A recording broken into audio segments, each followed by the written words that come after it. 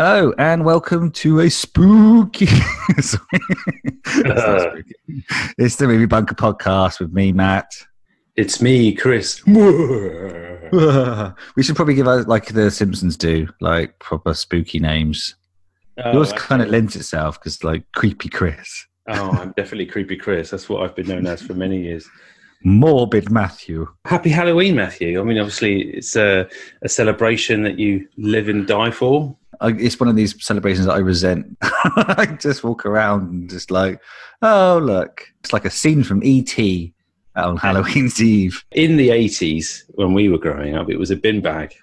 Uh, There was well, there was three choices, wasn't there? There was if you had some fake plastic teeth, you were Dracula. If you um, didn't have parents that went out and bought stuff, then uh, then you were either a ghost, which meant that you had a spare sheet knocking around, yeah. um, or a zombie, which fundamentally meant that your mum whacked on a bit of her green lipstick from the seventies and red lipstick, and turned you into a zombie and tore up some clothes that she didn't really want you having anymore. Yeah, you could be a witch as well if you had those kind of plasticky glow in the dark fingers, that extended fingers. Yeah, but that was it. That was, or, or, or if your parents were medical profession, a mummy. But Yeah. that was it. That, that was there was no other choices. And no- werewolf never happened because that would require require some sort of prosthetic mask. Oh, I would dream of a werewolf outfit. I mean, I was obsessed with werewolves as a child. I Is that because of Teen Wolf? Yeah, definitely Teen Wolf and uh, The Howling and a couple of other movies that I watched but didn't, you know, wasn't allowed to watch. American Werewolf in London and that. I just wanted to be a werewolf. Isn't that a bit weird? I mean, I'm all right now. oh, dearie me! I don't know what to do with that. That's a bit much. If we were to draw a graph of my process, of my method, something like this Sir Ian, Sir Ian, Sir Ian, action. Wizard, you shall not pass! Cut! Sir Ian, Sir Ian, Sir Ian. Um, let me just uh, fill in any new in, um, listeners into what our purpose in life here on the Movie Bunker podcast. Um, you might have seen the title of the film that we're doing, uh, Slender Man. There's no point keeping this a secret. Think, oh, this is one of those podcasts where they, they take a film and they, they rip it to poop because it's rubbish. Um, but that's that's never was our purpose here. Our purpose was to find those shitty films uh, that were languishing in the below five categories of IMDb and to watch them and find something in them that which is decent and good and so we could point at the critics and go no you were wrong this film's amazing i thought it would happen every other week maybe every third week that we'd find a diamond in the rough but um i think we've had like one film which you kind of liked of like what's this like episode 56 57 Yeah, we're on 56, 57 episodes now. But yeah, there's no, uh, never been really anything that we've both agreed on wholeheartedly was good enough to, to not go or remain in the bunker, the fictional, oh, sorry, not the fictional, the bunker. Um, Mate.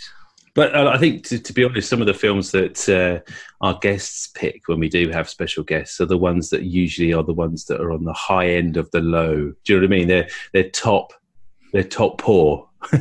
Yeah, Um, yeah. I mean, they, they get a bit more rope, I think, than, Yeah. than we allow ourselves. They're allowed to sort of pick. Well, although to be fair, I think most of the ones they've picked are have been around the fives, yeah, yeah. possibly a bit higher. But uh, yeah, they, they tend to uh, focus on one that does actually have some redeeming quality. Well, the, thing makes- is, the, the good thing is that you know the kind of benchmarks that we use are IMDb and, and Rotten Tomatoes, and they're actually quite they're wildly different in terms of sometimes uh, our IMDb rating can be around six, and then you, you check out oh that's far too high, and then you check uh, Rotten Tomatoes and it's got an audience score or critic score of like three, and it's a complete pannage. Um, Yep. So you kind of like you've always got two two sort of sources there to sort of play off each other and just to sort of make a uh, an episode work, so to speak. But um, this film, uh, Slender Plot, I mean Slender Man, uh, was Actually, before we get into Slender Man, can I, I'm going to throw something a bit of a curveball at you and, and do something that we normally do to our guests. Um, but I think it's the holiday season, right? It's, it's the most wonderful time of the year. It's the Halloween season. Um, what is your favourite Halloween film, Chris? Obviously, not this one. My favorite Halloween film. Well, I mean, well, you know, spooky film. spooky film. I, I've got to say, you know, it's a good question, Matthew. It's a good question, but I w- I've got to say that mm, I do like horror i- i- without the gore. So I'm, I'm a bit more of a kind of uh, spooky, spooky person. So this this film would be up my street if it was any good. But for me, I think the scariest film I've ever seen would be uh, the Blair Witch Project. Oh, really? Yeah, I think it was a, it was a, a perfect storm for me. Um, that film, the first thing, probably the first horror or spooky film that I've ever gone to the cinema to see because it's not a Right. I'll seek out on the big screen. Um, it's usually something I'll watch with the volume rather low and um, you know with a cushion at my disposal because I'm easily scared to be honest. But yeah, no, that film fucked me up for weeks. It's one of those weird films, isn't it, that um, hasn't stood the test of time, not because in itself it's a bad film, but because it got like um, made as a blueprint for success and then just sort of rehashed, rehashed, rehashed, rehashed, rehashed by various different paranormal activity, da, da, da, da. To a point that they, they've gone off that spiel now, but it, we kind of, you kind of watch it now and go, oh God, found footage. And, but before Blair Witch, there really was no, no other found footage films, right? There I was- know it was amazing, and the, the, the marketing for it all and everything was superb. A bit like Oh, yeah. Clover, a bit like Cloverfield in a way, where they and it's completely different, but they they tried to capture um, some of the element of surprise and and the mystery around it, and obviously going as far as creating. You know the website and uh, the back in the, the early days of you know the internet and stuff, really, because it kind of was. Uh, yeah, yeah.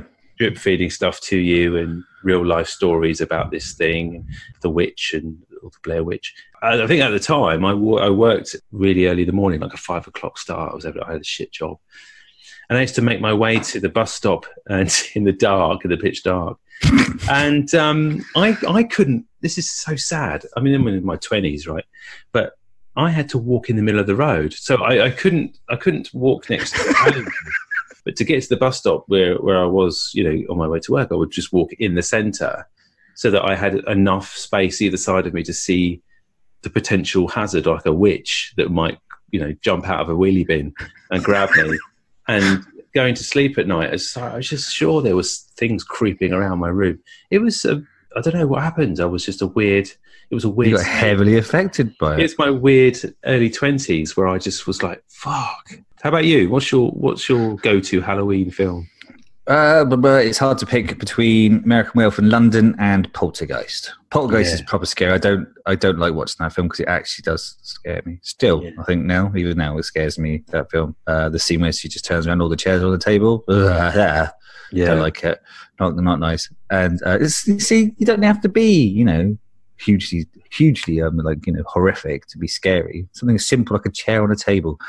Um, American Werewolf was just a, a brilliant film. I think that's a that's a good gateway drug to horror if you're a, if you're a young'un and you want to get yourself into horror. It's probably not even a 15 anymore. Actually, it probably is because it's got some sexy bits, isn't it? Isn't it? Well, I think because because of the body body morphing and all the kind of That was brilliant, right? Yeah, yeah. Oh, that practical movie. werewolf effects. Yeah, it's similar to like you know Dog Soldiers in a way. If you remember that movie from like Yeah, into the nineties, where they actually used props. that's good. Like dressed 10, up. 15 years later, right?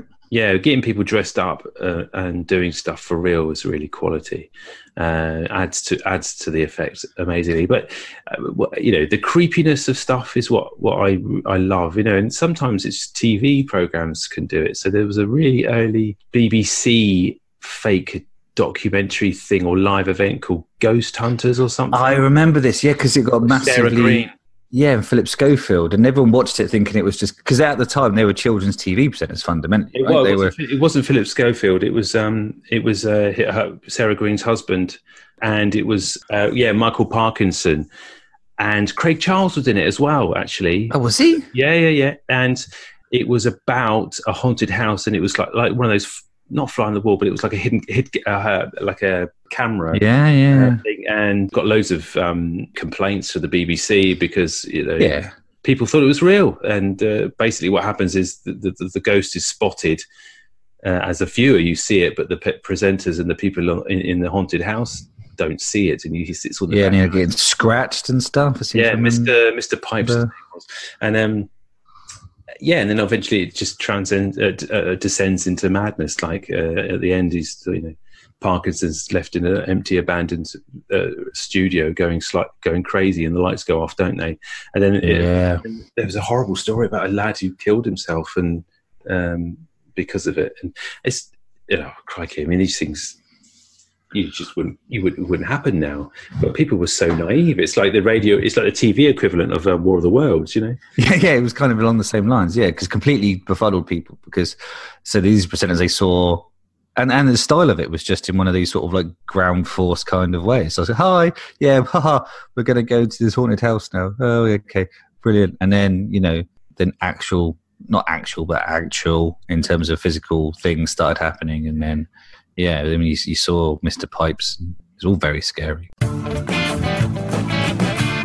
Okay, right, enough of this good shit. We pick Slenderman. And here's the trailer.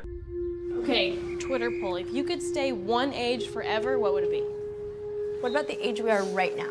Seriously? Sometimes I wish we could just get out of this stupid town together.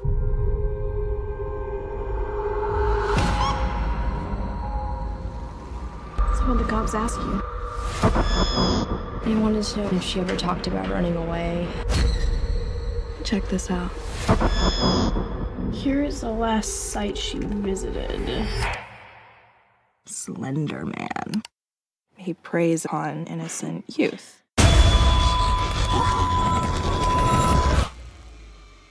What was that? I think this is how we get Katie back. Those who hear the three bells toll accept his invitation. When you hear the first, you must close your eyes. Katie! Opening your eyes only once you've heard the third.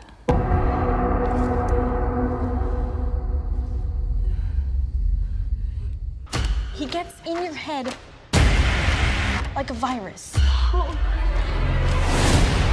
Something he takes, some he drives mad. Once you see him, you can't unsee him.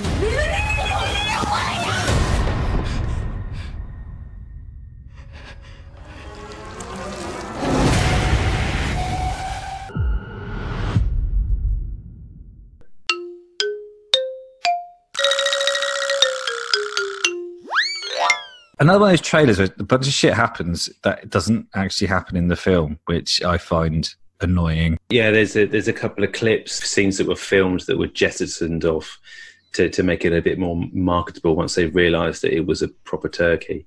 Um, the plot synopsis is this: In a small town in Massachusetts, a group of friends fascinated by an internet lore of the Slender Man attempt to prove that he doesn't actually exist until one of them mysteriously goes missing. It's directed by Sylvain White, uh, writers David Birke and Victor Surge, and stars, you know, a quite unknown bunch of actors, really. Fundamentally, completely unknown cast, right?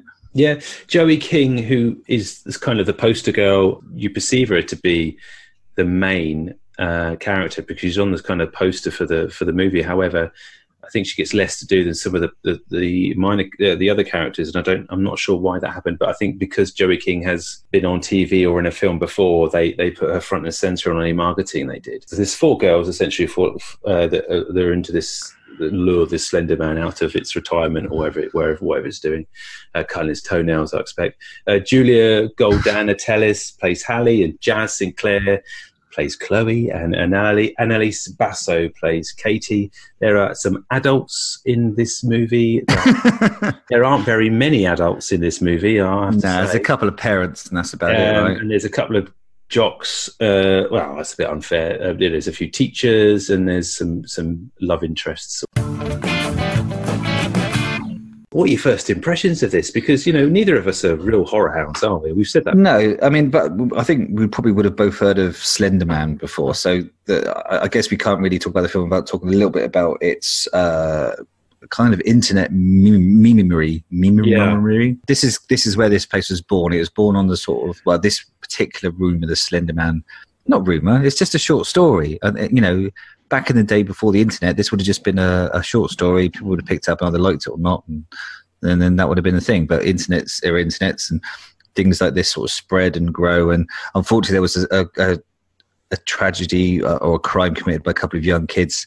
Um, we won't go into because it's not worth given the publicity for it. But um, so there was controversy around this, which is probably to explain the sort of low key.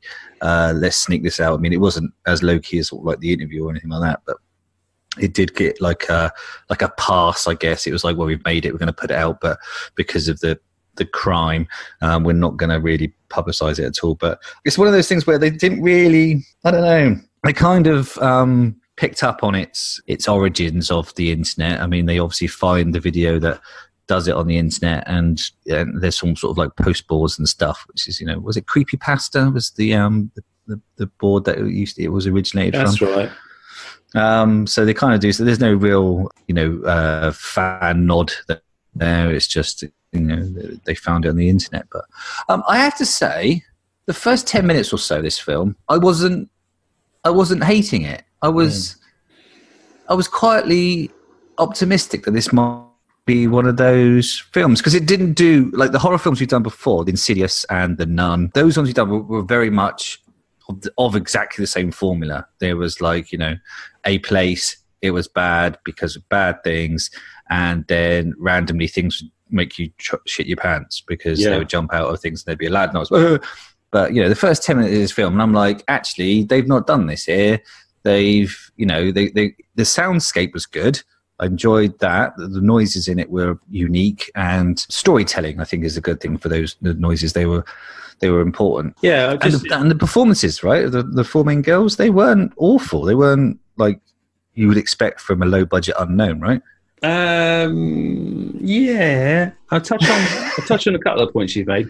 The, the the sound design I thought was was really good. It was really creepy, especially if you if you watch it on headphones. I mean, I didn't didn't watch it on the big screen. I watched it on a relatively small screen, but got the gist of it. Um, with the Yeah. in the sound design and what they physically do with all the creepy wood sounds. And I talked to you. We said this before in Winchester. I love the sound of creaking wood. you do love the sound of Uh, creaking um, wood. This had it in abundance, and it was, it was, Oh. it was pleasing to the ear. Um, creaking and the cracking wood as well, not just.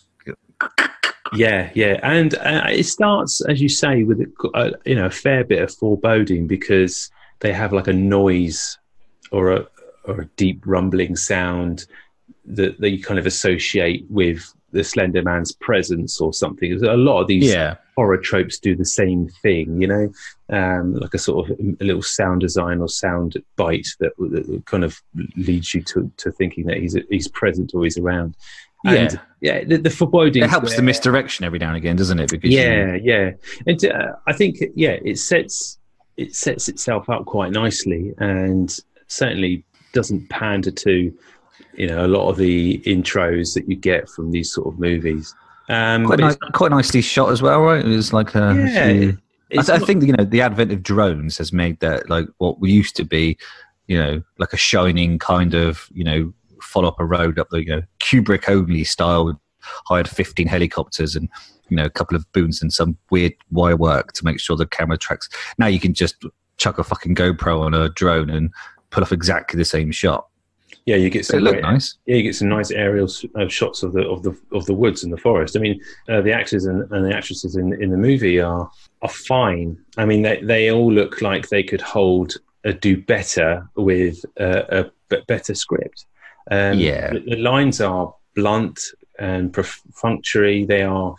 There's not a great deal of substance to any of it. I mean, they they literally explain to each other what's happening, what they should do, and what they shouldn't do, and no one at any point really argues with. Well, they do argue, but they they're not they're not really. No one ever decides to do something like radical, like go and speak to a human parent person. There's a couple of things that, that really bugged me about it, and that was the lighting. Because one of the first scenes where they set up a, a family, they set up one of the characters and her sister and their mother and father, and they're sat having dinner, and but they're sat having Yeah. dinner in the dark. And then once you, I, want, I noticed it. They had lamps on every uh, here, there, and everywhere, so they couldn't. They really couldn't see what they were eating. It was that dimly lit. No one eats dinner in the dark unless you're watching you, you've got a TV dinner and you're watching a movie or something that happens to coincide. It's definitely not as a family dinner, right? You go, No. right, everyone gather in the darkness. We're going to eat some food. We're not sure Yeah. what it is. Uh, once I noticed it, uh, and I, I wrote it down on the notes that I now can't find because the Slender Man's uh, sabotaged this podcast so far. Nicked it. Yeah. Yeah. Once I noticed it, it was a reoccurring an issue because as soon as anyone enters a room that's dark, they don't turn a light on. They find the smallest, darkest, dimmest lamp and stick it on. And there's a couple of scenes where things are going on downstairs. You know, she's one of the characters is you know can you know hear the presence of a of a being, uh, a spooky a spooky uh, scene, and and instead of you know what a normal person would do is walk around and turn every lighter on. They they just Yeah. walk around in a dark in the dark, and no one does that, and it annoys me. I think you can still be spooky with the lights on, I guess. But I, get- I, I, don't know. With the lights on. Yeah, yeah.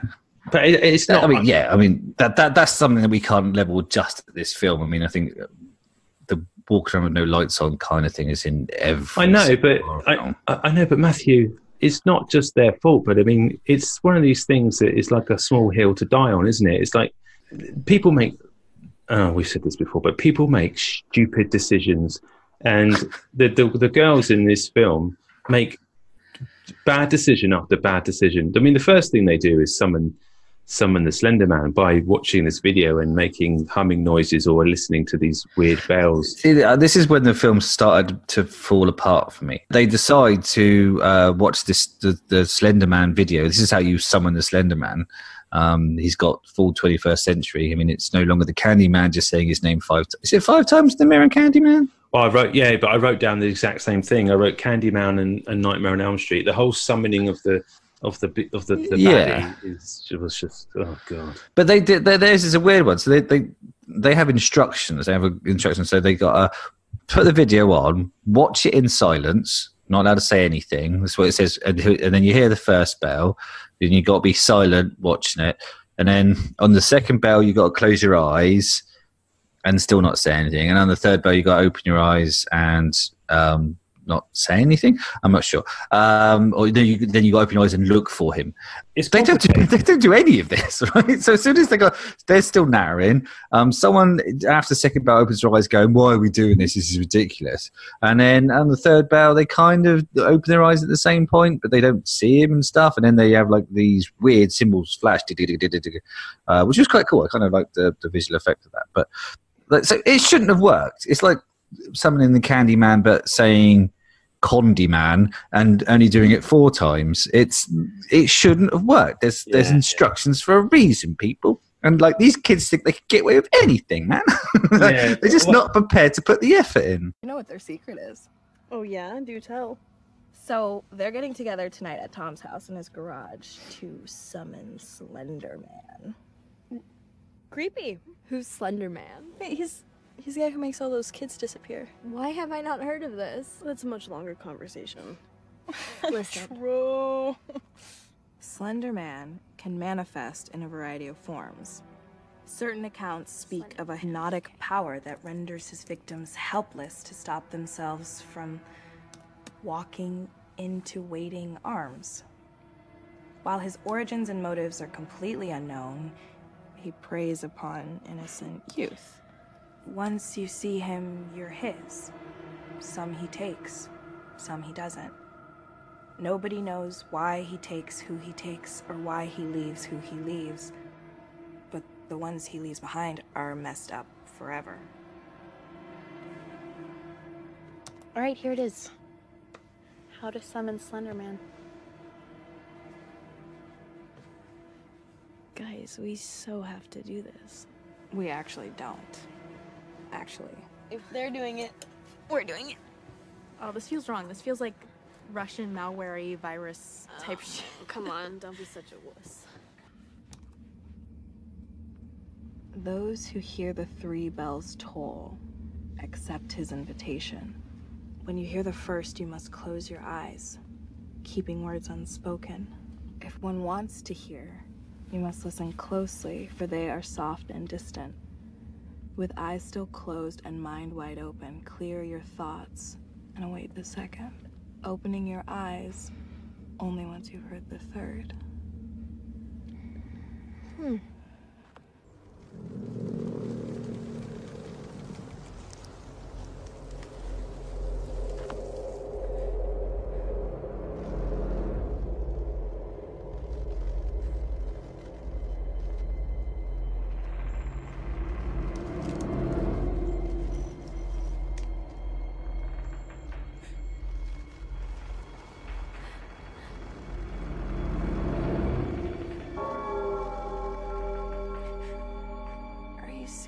This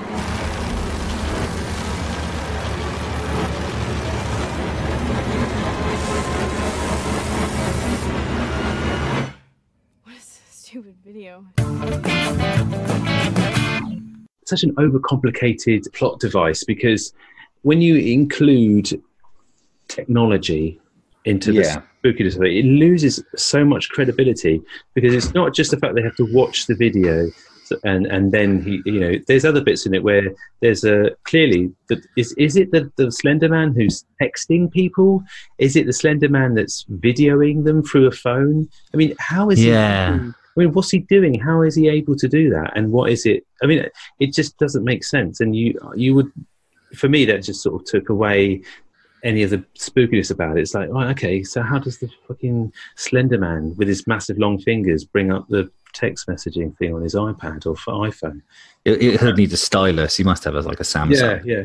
But uh, you know that that was that just kind of took some of the credibility away. And the story's crap. I mean, it, ultimately, uh, it is a trope on you know the old sort of yeah Candyman folklore of the of the demon. If you summon him, he's going to come. He's either going to haunt you, he's going to he's going to drive you mad and make you hurt yourself, or he's going to take you away, make you disappear. That was kind of three things that this Slender Man does, and obviously that happens to the girls eventually in this movie. Uh, you know, they're driven slowly mad or see Yes. doing So the, the first one that goes missing is Katie. So they all sort of complain about feeling not right, and then they're on a school trip somewhere. And then this is when the the film lost me at this exact point. This is the first note I wrote because up until this point, I'm like, fine, I'm on board with this. There are some obvious, you know, conceits that they're falling down onto. That's not a problem. I mean, most films you can look at and go, oh god, why is he in a spaceship? Um, that's fine. I got no real issues with this. This lost me because they were walking together and like th- th- they've been cast all four of these as like the closest best friends. Like you know, uh, paint stripper couldn't you know separate them. They are you loyal to each other to the end, right? So they're walking along, and uh, clearly none of them are right. But Katie's clearly very much worse off than the rest of them. Distracted, moody, you know, teenager. So she's like just staring into the woods, and like they go, "Are you all right?" And she goes, uh, "Oh, oh, uh, yeah." Um, and then the next thing you see is she's gone missing. So at some point, they've just fucked off and left her. Yeah. Like they've just gone. They've noticed she's not right, and they've gone. Well, you know, man down. Off we go. Yeah, they're all, on the, they're all on the coach, aren't they? Ready to get home, and then um, And, and even the way they squeeze out of the, sc- the scene, like Chloe and ha- Hallie are kind of, I think, coming a sort of like arm in arm walk. Um, the fact that they kind of just step sideways out of shot as well, it really annoyed me because it was just like they, they just so quickly try to create this gap where you know where Katie could go missing um, and create a bit of mystery. Uh, that it was just oh, it was, it was just and it was like oh, that's it, I'm gone. I, I can't like it's a tiny thing. It's like you say, small hills to die on. This is a tiny thing. Like, and all they had to do was leave it till night time or something for her to go missing. And then, Yeah. you know, then there'd have been a bit more of a discovery piece. There's so many sort of dangling threads in this film. It's just Well, the nuts. whole, I mean, the ending is a, is the biggest dangling thread, and we won't- get to that yet. But it's the most disappointing ending. I think even even if the film was half decent, you'd be pissed off if you were really enjoying this. What did you think of you know the Slender Man, the the actual the dude? Um, I, I don't think we saw enough of him. I mean, what I mean by that is, I, I quite liked a lot of his appearances. I liked. Um, there was a scene with uh, Wren's character in the library where it was quite well done in the sense that it wasn't always the the obvious jump scare. Sometimes they just came straight at you because he was slender. They could quite easily hide him in plain sight by just going out of focus and having him stand next to something tall and thin, like a tree or a crack in the wa- you know wall or something like that, and then he could just walk forward. That was kind of cool. Kind of like that. He was all right, right? Yeah, Um, yeah, yeah. And I think, yeah, I just don't like the way he had a suit, and I just don't know why he had a tie on. I mean, Because he does on the internet. yeah, but why? Why would you create a, a spooky man, have him, but to have him wearing a suit with a tie? Well, because he's scary to teenagers, and nothing represents scary to teenagers like a sense of responsibility, which is what the suit and tie represents. Right, I guess so. But he's got no face. This man, He No can't- face, Yet, which apparently is insanely scary. And if you look at No Face, you become mad instantly. yeah, his his soundtrack, if you like, or his his sound, the the sound design around him was okay. Like I say, and I think some of the little bits they did with him, the creepy long fingers, and how he, you know, he, as you say, how he appears, not unlike you know some of the Insidious movies and how they work. The kind of creepiness in the background, and then you know the foreshadowing of it, and seeing a uh, yeah, like, you've just said, a figure coming out of the darkness. That that was all well and good. Uh, I just don't think he was scary enough. I mean, it, it, it, sometimes the, the the the lack of a face just just kind of um, just doesn't really sort of ignite any kind of No, and there Error. was there was kind of I think because so it's implied that Katie actually got taken because she wanted to. So they they found another video which um, kind of showed her like um, meeting the the Slender Man. Apparently, you can't get taken the first time you meet him. You have to meet him, arrange for a time to get taken. Is it by text message, obviously. Then there's this kind of like idea that this is there's this contract between the Slender Man and its victims in the sense that they only takes people who want to be taken in some fashion. Katie's character, they find her laptop. Um, she has piss poor password security, by the way, because everyone can just get into her laptop straight away. Um, I mean, come on, kids, you know, upper and lowercase special character and at least two numbers, all right? um, so they get into, and they, they find out she's been chatting with this uh, this person online, telling her like she's like the world's authority on Slender Man and telling her how to meet the Slender Man and get taken by the Slender Man. It, it, it wasn't scary because it seemed like unless you wanted to be taken by this thing, then you're never going to get taken. But like I say, then that gets quickly jettisoned later on for just standard hunt them down one by one. It falls flat on its ass um, at the end. Uh, like I say, the main character, or you, what you think's the main character, just disappears. She's just not. She's the Yeah. one uh, egging everyone on that they've got to do this certain amount of things to be able to get to rescue the other characters that have gone mad or whatever. Uh, Joey King's character Wren, um, in the last sort of third or last quarter of the movie, she just disappears, and then Hallie, who kind of he's her best mate, it just does all the work, and is it's kind of just just centers on her. It's almost like it's her movie at the end. Yes, Um, but it, isn't that a bit weird? Because obviously we meet um, Hallie and Katie right at the start, and they seem like out of like this close group of four. And I didn't like the way they this the, these four girls fell apart as well. I think if they'd have stayed friends throughout this thing, it would have been a much more interesting film. But like, I say, she just completely disappears for the final third. Yeah, you don't. I don't even know where she went. I can't No, remember. They have an argument in the street uh, about having to do something. She says, "I don't want to do this anymore." She's like, "Well, you've got no choice," sort of thing, and then that's it. We don't see her again. Not even at the end. Okay, I've got some example of dumb dialogue here, if you if you want a bit. go on then. Dumb dialogue. This really annoyed me. So this is, I, I think this is when they're referring to Chloe, or uh, this is when Wren starts getting deep into the mythology of Slender Man, and the other kids uh, are not quite so um, up on it. And she describes it as like a virus, like like a computer virus, but instead of your hard drive, he takes over your brain. And that, my, my head just exploded at this point because they used the word virus. That's all you need to use. It's like a virus. You don't need to say like a computer because Computer virus have just stolen the word from virus. Yeah, yeah. It's just a virus. Yeah, oh, it's like a computer virus, but instead of taking over your computer, it you know it, it makes you ill. what? Like a virus? yes, like a fucking virus. yeah, I, I, it's because they're all, they're kind of over. They're trying to bring it into the into the modern you know technology. Like, how can we make this really obvious? Kids use computers, don't they? Yeah, yeah, yeah. They use computers. They're they're aware of um, computer viruses. Are they aware of normal viruses? No, God, no. Kids don't know about normal viruses anymore. And then she bangs out the line: "We got to do something because the police have no leads." How the fuck does she know? They kind of go into sleuth mode, don't they? And uh, Oh, yeah. checking people's la- laptops and computers and just skulking around the streets where there are no fucking extras. Um, and again, no lights. Uh, it's, I mean, the crime rate in Massachusetts, is it set in Massachusetts? Am I right? I think so. Um, Yeah. it, it must be through the fucking roof because no one, you know, it's prime for robbers and muggers because there's no street lamps.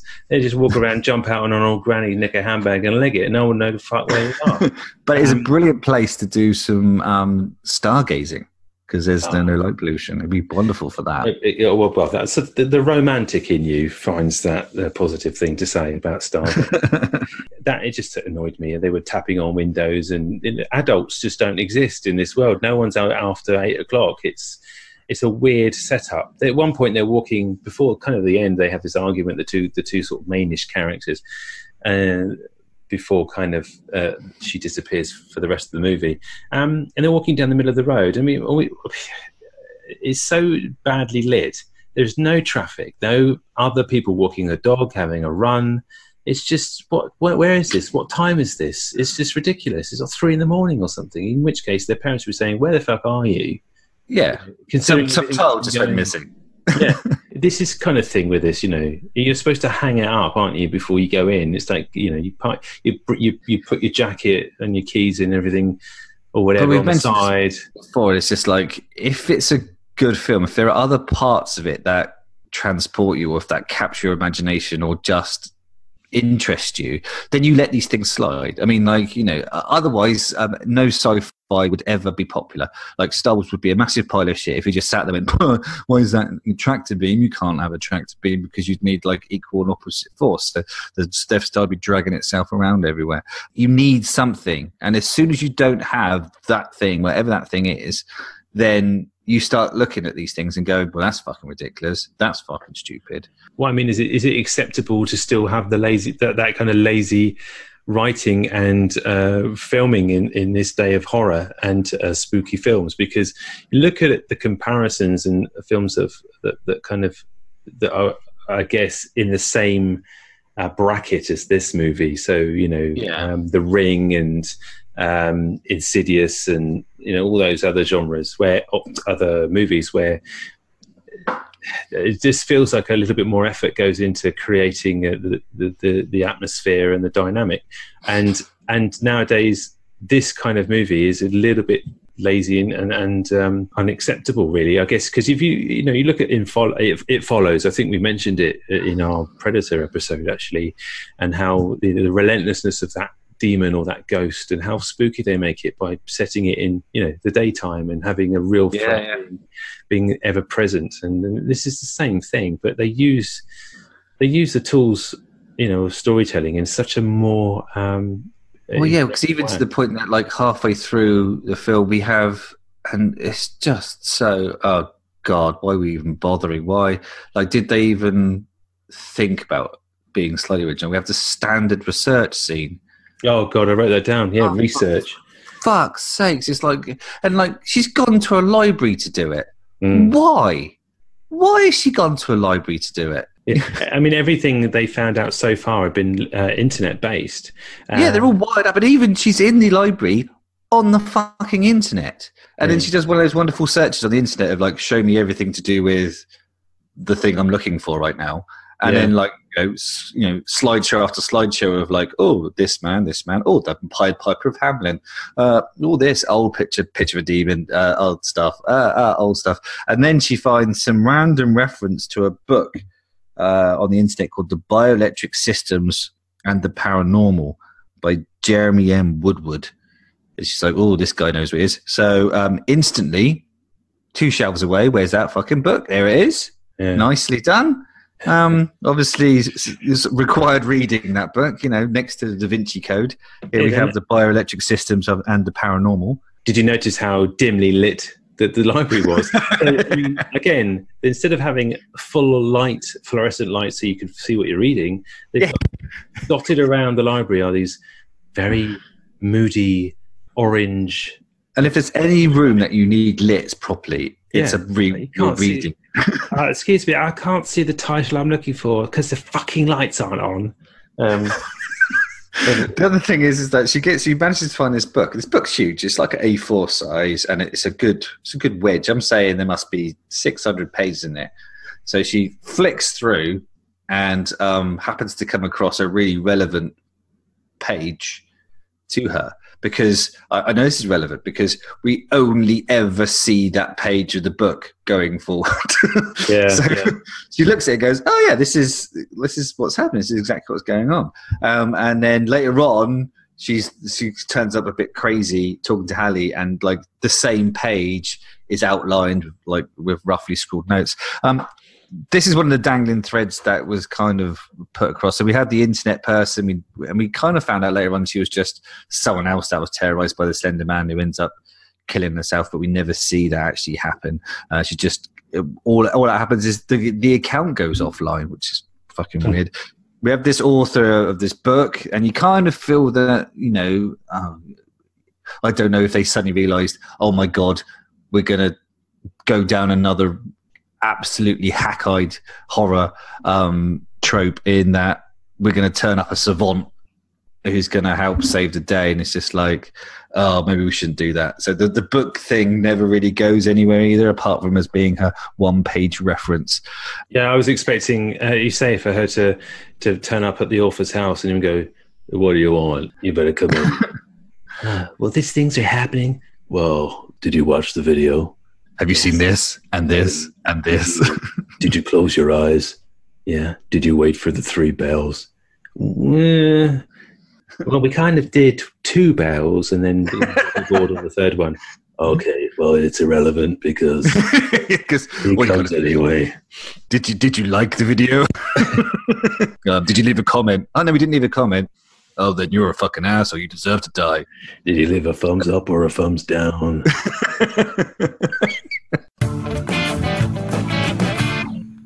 Spoiler time because I'm just going. I know we've spoiled it already, but it, we haven't really gone plot for plot, so you could still watch this and be surprised by some of it. But I'm just going to spoil the ending because the last or few images of the ending I thought were pretty well done and, and a little bit reminded me of Evil Dead, uh, even that and then the remake of Evil Dead as well, where she becomes she's being chased by the Slender Man and is kind of like a big he kind of morphs into like a massive tree man, doesn't he, with lots of spidery legs and things. And it's kind of the Yeah. crescendo of the movie. This is not the main character, by the way. This is the the other character, as we say. And then she's kind of um, uh, absorbed, I would say, into the tree, uh, into him or into the tree. And the way the way that the that works uh, on screen and the way it's filmed is was was pretty creepy and it was was a, was a good Yeah. lasting end image. It's not. I mean, it doesn't bring any closure. You're just thinking something else is going to happen. She's going to be okay. Um, she's going to fight it from the inside or whatever. But Yeah, No. I mean, this is why I kind of had a, a little bit of issue as well at the end here because uh, the, the Hallie character becomes um, heroic, I guess, and the Ripley of the piece uh, because her little sister Lizzie got tricked by Wren into also um, doing a thumbs up on the Slender Man video. So, uh, Subscribing. Li- yeah, subscribe. She's liked and subscribed. Um, so Lizzie um, is being terrorized. So, um, and then because we've had that dangle, uh, that dangling thread, which never got taken up, which means that you know you can, if you sacrifice something, then you can make him go away. Um, Hallie sort of realizes that she needs to finish things off by um, doing uh, meeting the Slender Man and sacrificing herself. So she she walks up, to, she finds the Slender Man, and she's like, "Take me!" And then it he goes, uh, and then she goes, "Ah!" and then fucking legs it. it's like, what did what did you want to do? I don't understand. I mean, She obviously, to be chased. Yeah, run, run after me, and let's let's just eke out the last fifteen minutes of this movie. Um, and something that you need to cut in here as well is that towards the end of the film, they use a, a specific camera shot where it's kind of a, I guess it's a body cam. In my head, I started going because uh, it, it's the chickens uh, Caesar Digby cam Oh from uh, yes. Slim Web Experience. So um, please find a clip of that and uh, clip that in here because uh, Oh. the last third of the film is her just running around like Sir Chicken Digby Caesar. just over here, we must fight the Slender Man. In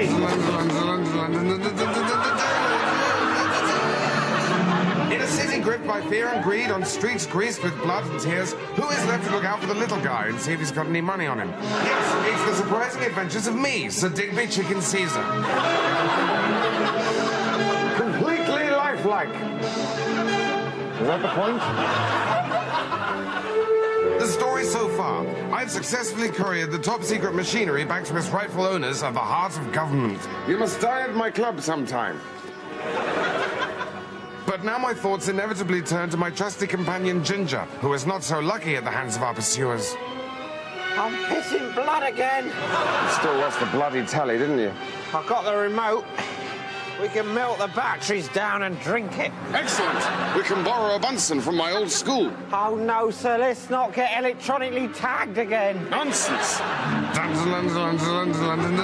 Having infiltrated my old school, how will my nemesis strike next? Hoovering up all the gutter change with so-called street sweepers? More of that sort of bench that you can't lie flat on? Find out next week in The Surprising Adventures of Sir Digby Chicken Caesar. I think we makings of crystal meth here, sir. It's going to be an Easter weekend to remember. Box office stats. Okay, actually, is all right. They made it for around 10 million. You can see, obviously, huge savings in cast and unknowns there. Yeah, from, yeah. For me, like for, that's that's well lower than uh, the other horror films that we've done. It took 11 in the opening weekend in US. Gross US 30 million. Gross worldwide 51 million. Um, filmed in our favourite aspects ratio of 2.39 to 1. And um, you'd be surprised to hear, Chris, Mm. d- despite the darkness, it was actually filmed in colour. No fucking way. Yeah. Like, it was Yeah. in a very low, um, dingy, dark orange color. it's Um, like mostly muted. Yeah, technical specs as well. You just to mention, it is 93 minutes long, which is always good. Always good to get it on that hour and a half. If it's going to be bad, at least you can be short.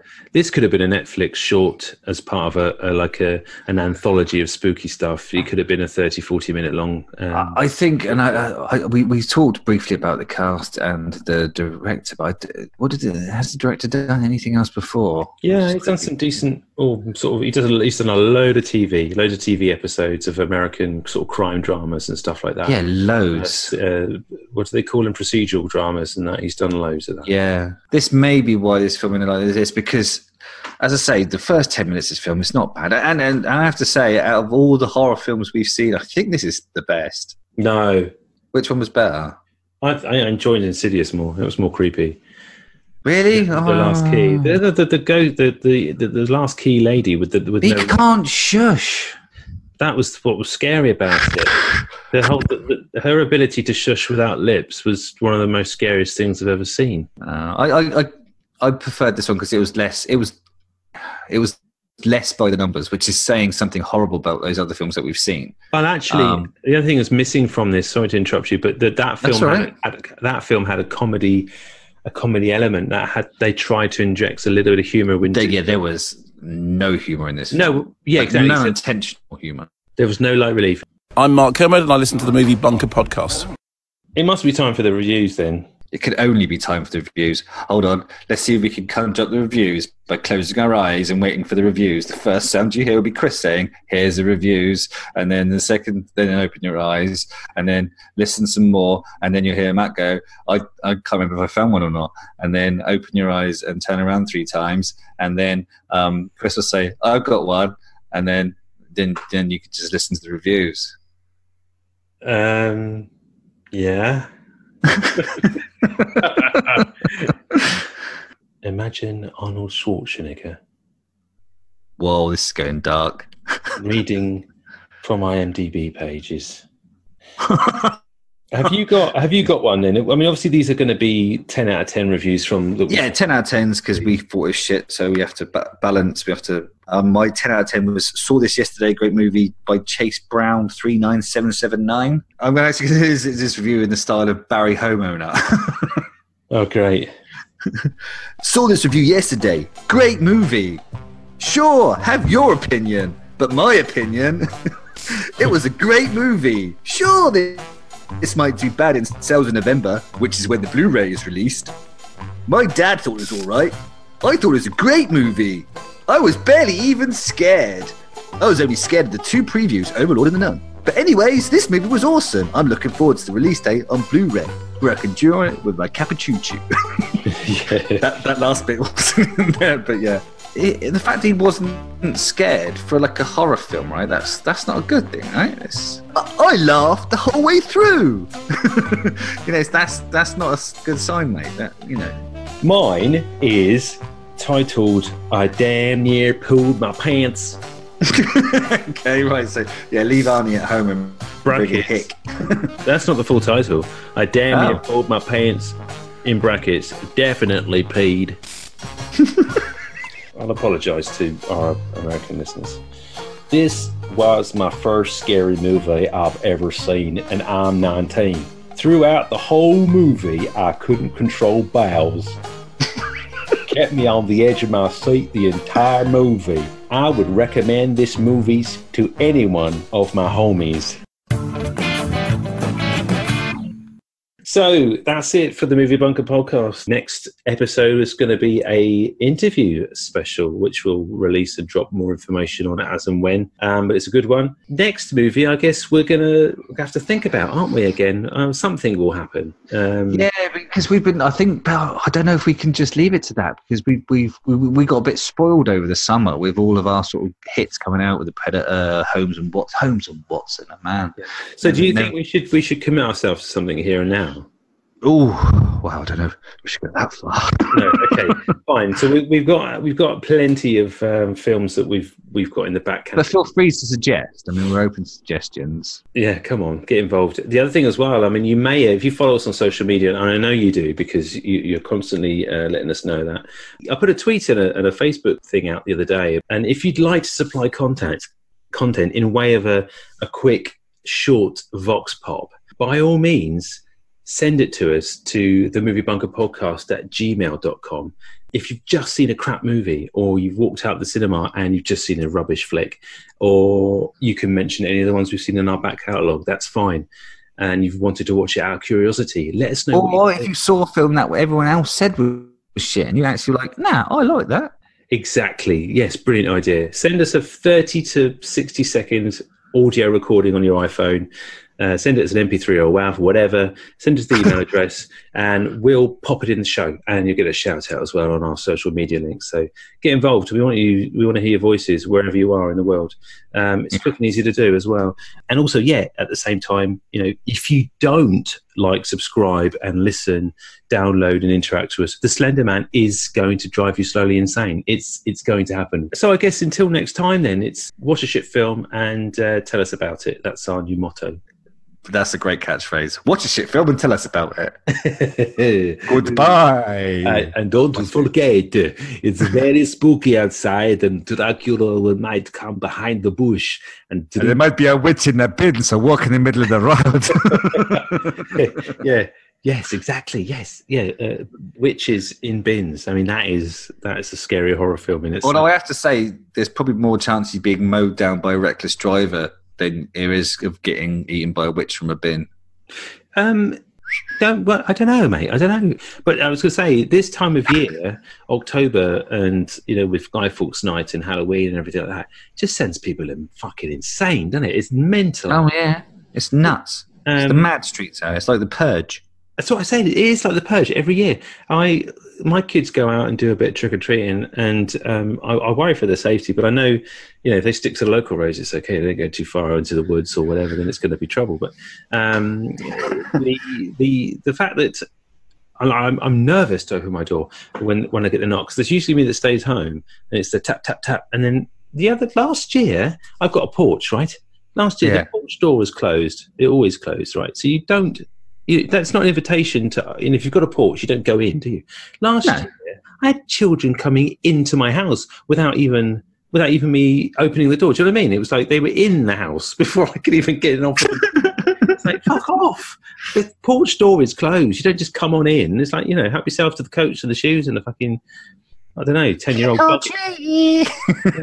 And they look at you like you go. And I said, "Sorry, guys, it's the end of the night. There's not much here." They look at you and go, "You fucking what?" It's like there's a few dregs, but I'm afraid that's it. I've got some grapes. And they're I, I don't mind the kids. I just it's the teenagers with like token effort. All right, mate. Got these trick or treat. Like, what are you meant to be?